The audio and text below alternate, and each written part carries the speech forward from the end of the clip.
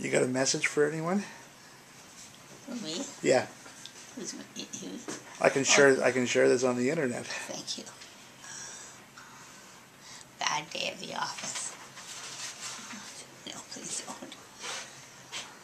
Sarah, So this is the hospital uh, room. I can stick my fingers in your eyes. And here visiting today with us is Brittany and Sarah Ah, and Andrew. So this is her setup in the hospital.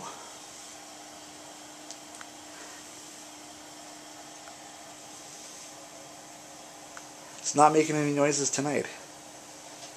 Last night the mask was making noises and got everyone all concerned. But looks like we all set it now. And here's my fearless helpers. Thank you. You can see we brought some decorations with us I I need some chips. as it's Valentine's Day.